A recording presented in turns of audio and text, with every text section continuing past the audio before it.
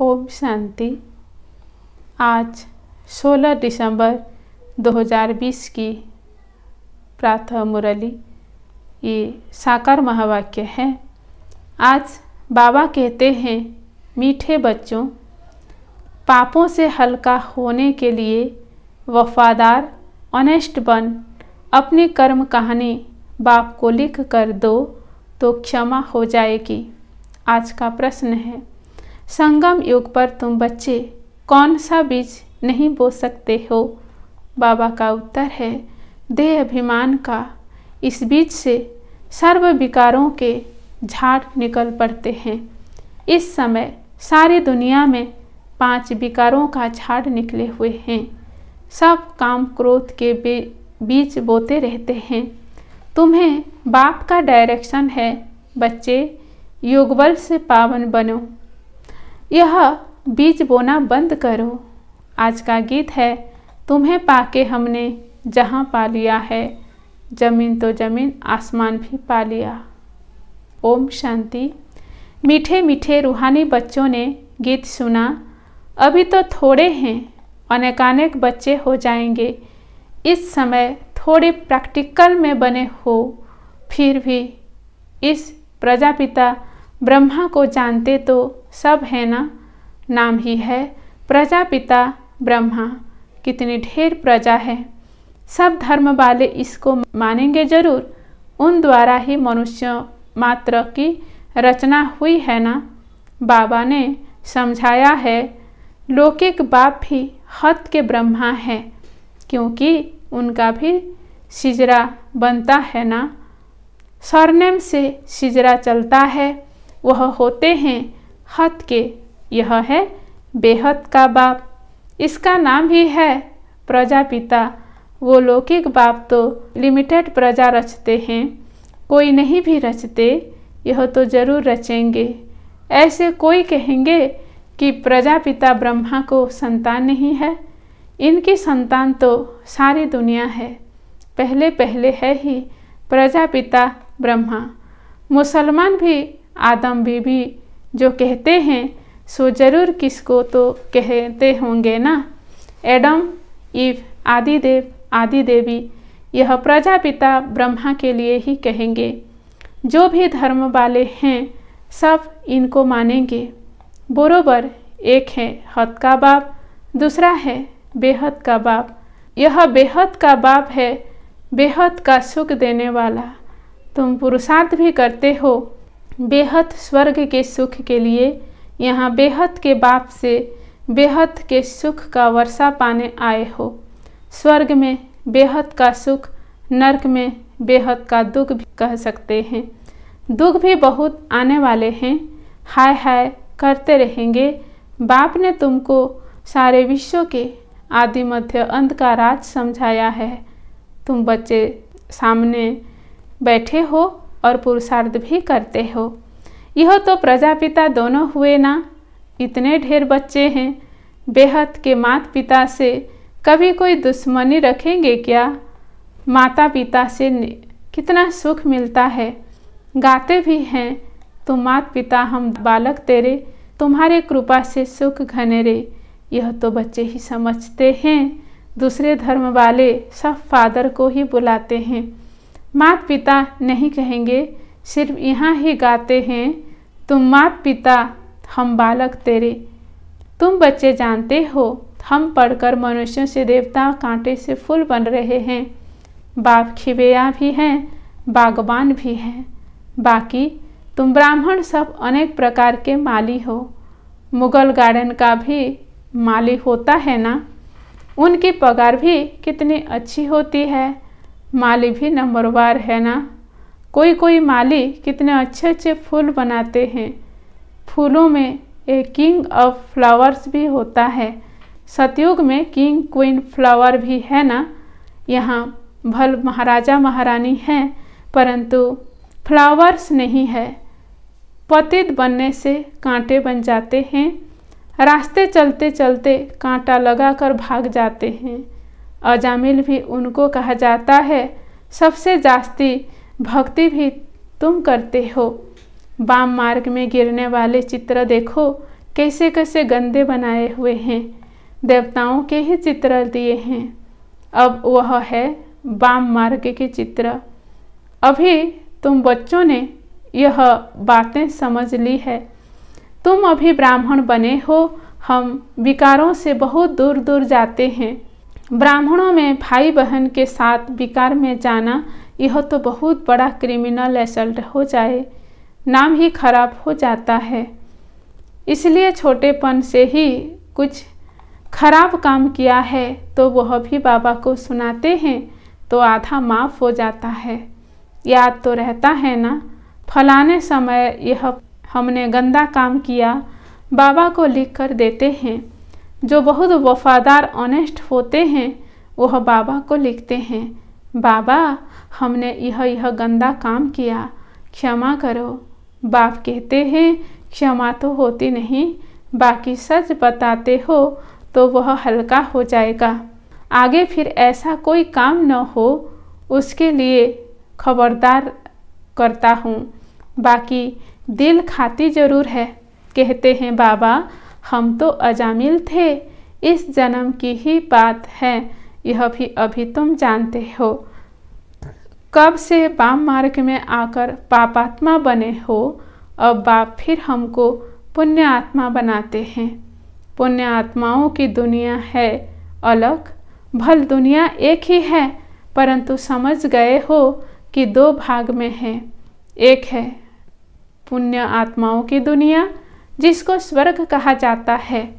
दूसरी है पाप आत्माओं की दुनिया, जिसको नर, दुग्धाम कहा जाता है। सुख की दुनिया और दुख की दुनिया, दुख की दुनिया में सब चिल्लाते रहते हैं।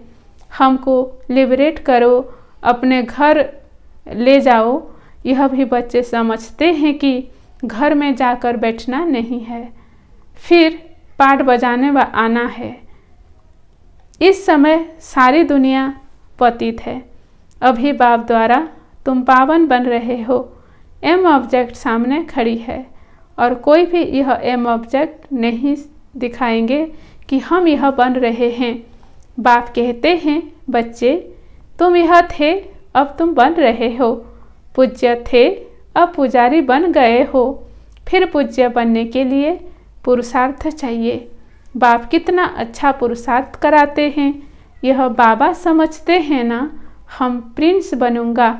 नंबर वन में है यह, फिर भी हर वक्त याद नहीं ठहरती है। भूल जाते हैं। कितना भी कोई मेहनत करे, परंतु अभी वह अवस्था होगी नहीं। कर्मातीत अवस्था तब होगी जब लड़ाई का समय होगा। पुरुषार्थ तो सबको करना है ना इनको भी करना है। तुम समझाते भी हो, चित्र में देखो, बाबा के चित्र कहाँ है? एकदम झाड़ के पिछाड़ी में खड़ा है। पति दुनिया में और नीचे में फिर तपस्या कर रहे हैं। कितना सहज समझाया जाता है। यह सब बातें बाप ने ही समझाई है। यह भी नहीं जानते हैं थे। बाबा ही नॉलेजफुल है। उसको ही सब याद करते हैं। हे परमपिता परमात्मा आकर हमारे दुख हरो। ब्रह्मा, विष्णु, शंकर तो देवताएँ हैं। मूल वतन में रहने वाली आत्माओं को देवता थोड़े ही कहा जाता है।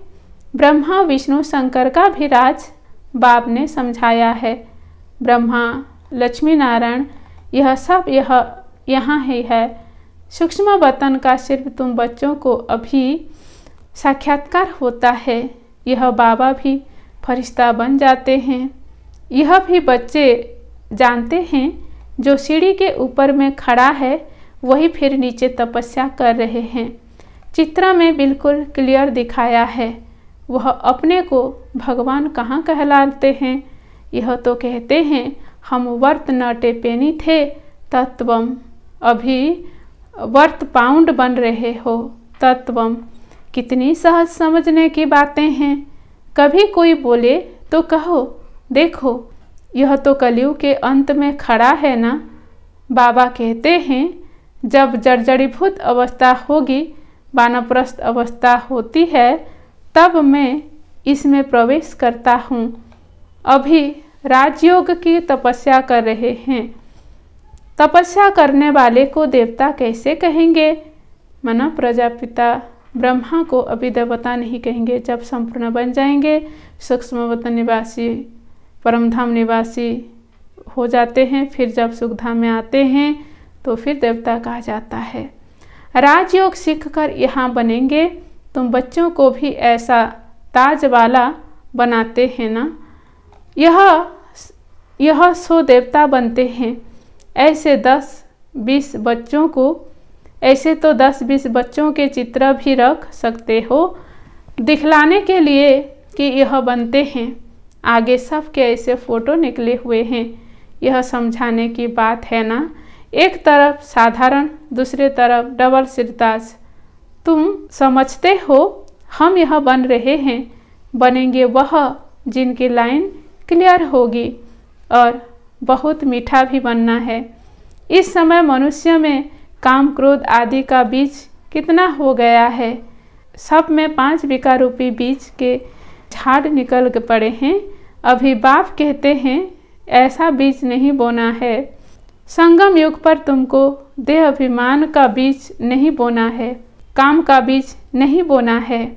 आधा कलप के लिए फिर रावण ही नहीं रहेगा। हर एक बात बाप पेट समझाते बच्चों को। मुख्य तो एक ही बात है मन मना भव। मुख्य बात क्या है? मन मना भव, बाप कहते हैं, मुझे याद करो।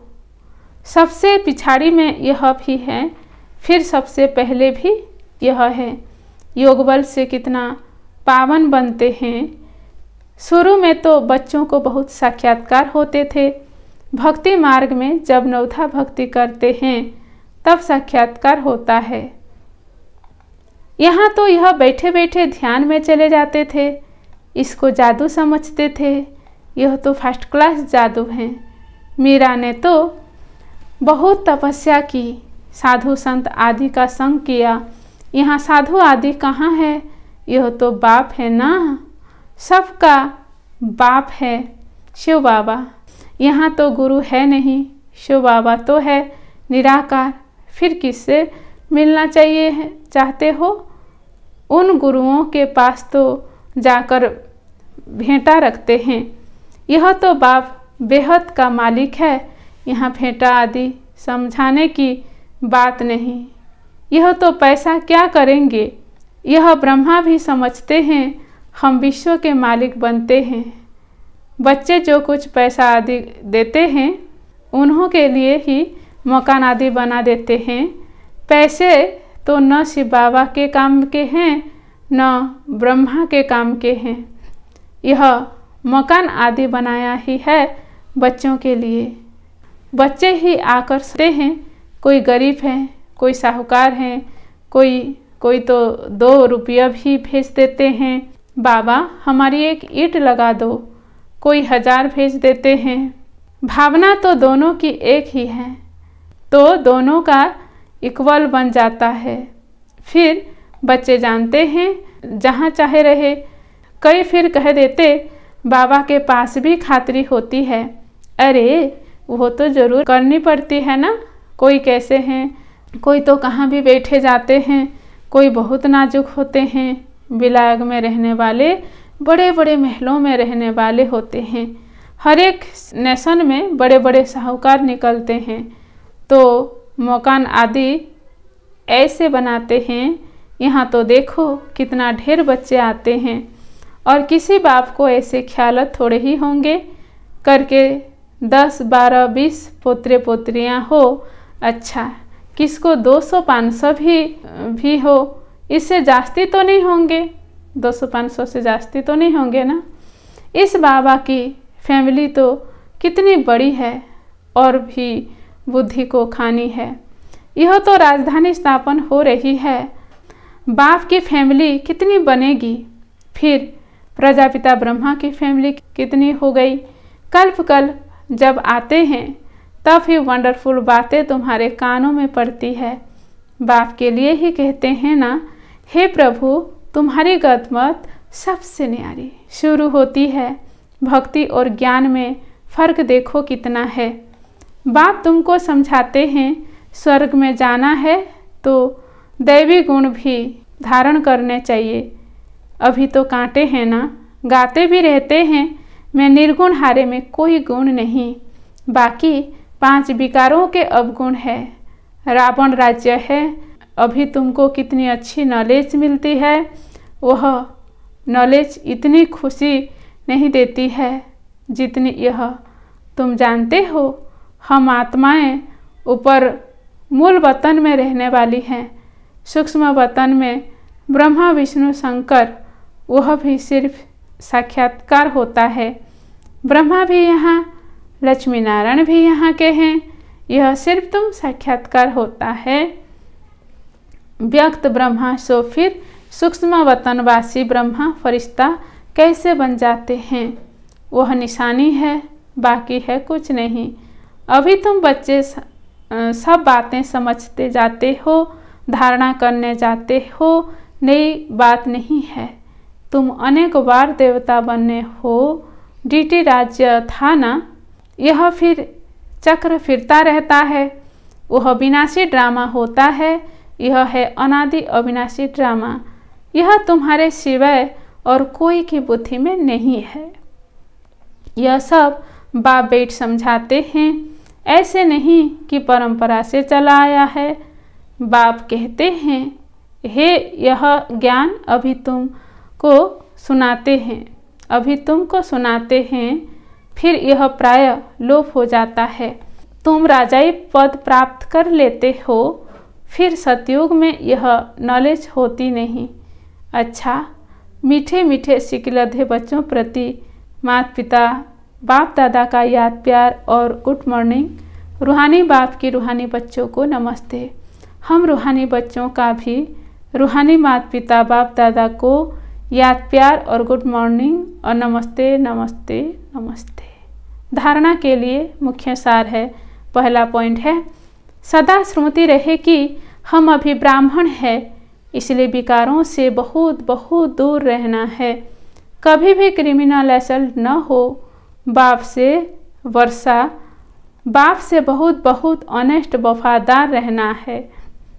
दूसरा पॉइंट है, डबल सिरदास देवता बनने के लिए बहुत मीठा बनना है। लाइन क्लियर रखनी है राजयोग की तपस्या करनी है। आज का वरदान है, आज बहुत सुंदर वरदान बाबा ने दिया है। सर्वप्राप्ति संपन्न भव का वरदान। ईश्वरीय नशे द्वारा पुरानी दुनिया को भूलने वाले सर्वप्राप्ति संपन्न भव। वरदान का विस्तार है। जैसे वह नशा सब कुछ भुला देता है, ऐसे यह ईश्वरीय नशा दुखों की दुनिया को सहज ही भुला देता है। उस नशे में तो अब बहुत नुकसान होता है। अधिक पीने से ख़त्म ख़त्म हो जाते हैं। अधिक पीने से।